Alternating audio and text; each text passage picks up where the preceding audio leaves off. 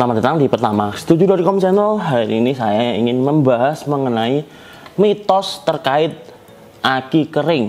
Sebutannya umum aki kering, padahal ini aki basah, tapi maintenance free atau aki MF. Bisa nggak sih aki kering sebutan mereka dicas gitu kan? Karena e, di beberapa video lalu yaitu terkait saya ngecas ngecas aki motor saya, Mas, emang aki kering bisa dicas? Mas, aki kering dicas? Loh, kok aki kering dicas tuan?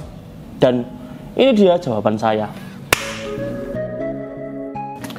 Jadi ini kan bukan aki kering ya. Ini adalah aki MF alias aki maintenance free.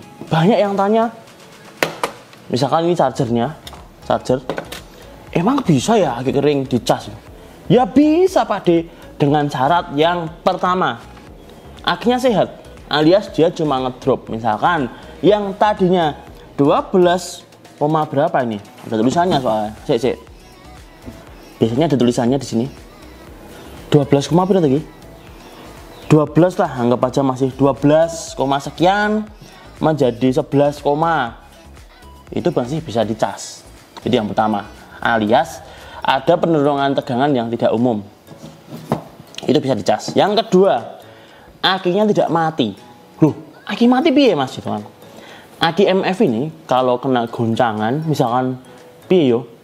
Ada kena entah benturan atau apa kadang bisa putus pak De. jadi di dalam ini ada jaluran uh, jalur seri dari antar sel. Ini ada selnya. Hmm. biasanya kan disambung pakai timah itu timbel itu bisa putus. Nah kalau udah putus itu nggak bisa dicas lah wes akhirnya putus mau dicas piye wong dicas dia nggak nyambung kok dicas.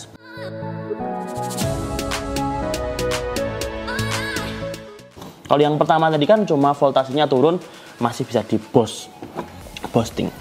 Terus yang ketiga akinya tidak soak. Soak itu maksudnya bagaimana ya? Ada aki yang memang bisa dicas, ada yang bisa enggak. Alias dia udah soak, misalkan tinggal 5 volt.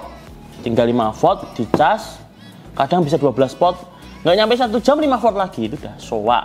Apalagi kalau sudah tinggal satu volt dua volt jadi sudah nggak bisa dicas. Sudah tidak tertolong. Tapi bukan berarti aki kering tidak bisa dicas. Aki kering bisa dicas asalkan kondisinya masih bagus. Jadi pemirsa nggak usah khawatir ya. Mas aki kering kok dicas? Ya bisa asalkan masih sehat. Tapi bukan jaminan ya.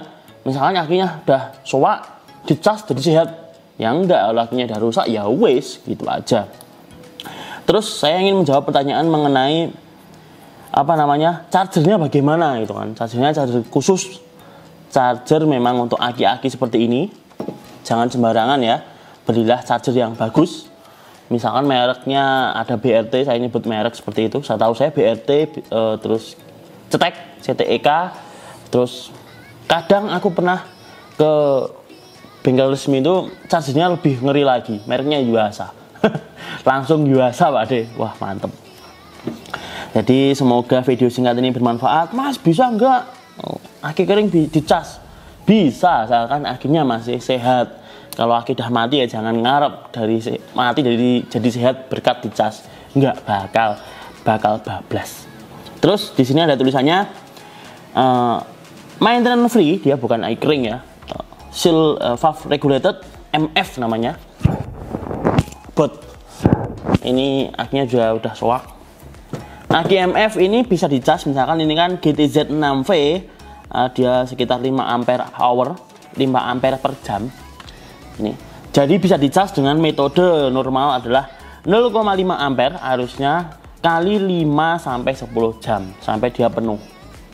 Aki valve regulated lead acid baterai lead acid baterai aki timbal atau aki dengan timah metode timah dan ada cairan asamnya di dalam. Ini bukan air kering. Ini yang misalkan 6V. Kita lanjut ke YTZ 5S. Y itu artinya dia merek Yuasa, kalau G itu GS. Sama sih, GS sama Yuasa itu sama. Terus apa namanya? Kalau yang YTZ 5S ini dayanya adalah sekitar tiga setengah ampere hour ampere per jam kecil Metode pengecasannya adalah 0,4 ampere kali 5 sampai 10 jam atau sekitar maksimal 4 ampere per 10 jam. Tapi tenang, ada beberapa charger yang quick charge, yaitu chargernya lebih bertenaga, bisa menggunakan metode quick charge, yaitu menggunakan charger 5 ampere yang ini kan 5 ampere 5 ampere kali setengah jam saja jadi ngecas setengah jam misalkan di Ahas di bengkel resmi Honda di bengkel resmi Yamaha eh, di bengkel resmi Suzuki Kawasaki punya quick charge-nya. Pemirsa sambil servis ini bisa dicas dengan waktu yang cepat. Cuma setengah jam. Asalkan uh, adapter chargernya 5 ampere. Seperti halnya di YTZ 5S saya cuma punya contoh dua ini yaitu metode quick charge-nya adalah 3 ampere kali setengah jam. Jadi sudah menjawab pertanyaan pemirsa ya. Soalnya tiap saya ngecas oh kemarin? CB150R GSX R150 itu komentarnya bu emang bisa aki di cas kan? Emang bisa aki di charging eh memang bisa aki di cas atau di charger lah pemirsa itu pakai motor ke mana-mana itu itu ngecas pak de akhirnya wah tapi itu motor itu ada sepulnya atau boson disonnya sepul ya bahasa lebih teknisnya adalah generator kalau satu fase. Kalau tiga fase alternator. Nah sepul pengisian di motor itu kan kalau motornya bekerja dia ngecas pak de ngecas aki ini. Jadi jangan salah aki kering bisa dicas. Ya bisa wong ente pakai motor itu artinya dia ngecas aki kok.